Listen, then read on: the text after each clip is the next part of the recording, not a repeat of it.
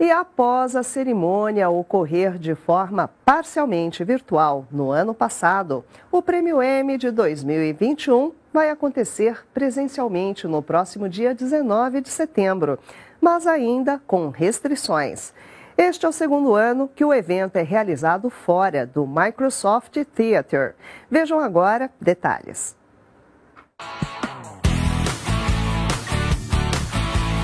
A cerimônia da 73ª edição do Emmy Awards vai ser realizada ao ar livre. A organização da premiação anunciou nesta semana que tanto o evento do Prime Time quanto do Creative Arts vão acontecer no Event Deck do LA Live, próximo ao Microsoft Theater, em Los Angeles. Nesta edição, ainda por conta da pandemia da Covid-19, o número de convidados vai ser limitado. Mesmo as equipes indicadas só vão receber quatro convites. As séries Mandalorian do Disney Plus e The Crown da Netflix são super favoritas para ganhar prêmios. Cada uma recebeu indicações em 24 categorias.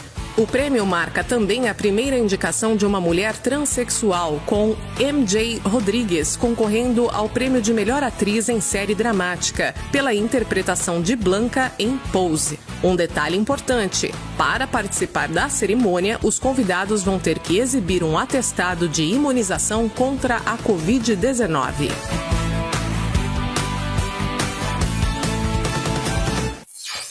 E a Microsoft lançou novos controles sem fio no Brasil. Agora os gamers podem adquirir o acessório em três cores diferentes: azul, vermelho e em verde amarelado. Vejam detalhes. A Microsoft anunciou nesta quinta-feira que está trazendo para o Brasil novos controles para o Xbox em três cores inéditas: Shock Blue, Electric Volt e Pulse Red. Todas as versões trazem um case colorido na frente, uma traseira branca e botões que mesclam o preto com as novas cores. A nova geração de controles garante o emparelhamento simultâneo com todos os consoles da marca e também com PC com Windows 10 e smartphones com sistemas Android e iOS. Os acessórios também possuem superfícies esculpidas e geometria refinada para melhorar o conforto durante os jogos, além de gatilhos texturizados e botões direcionais híbridos. Tudo isso não sai barato. Quem quiser adquirir essas novas versões coloridas vai ter que desembolsar aproximadamente 600 reais.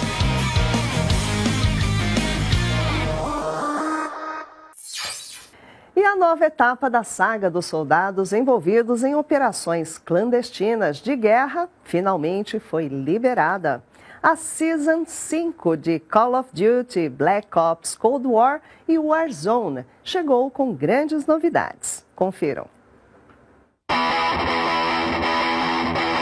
A temporada 5 chegou ao Call of Duty. No Warzone, o novo capítulo já pode ser jogado, mas quem quiser se arriscar em Black Ops Cold War vai ter que esperar mais um pouco, até uma hora da madrugada desta sexta-feira.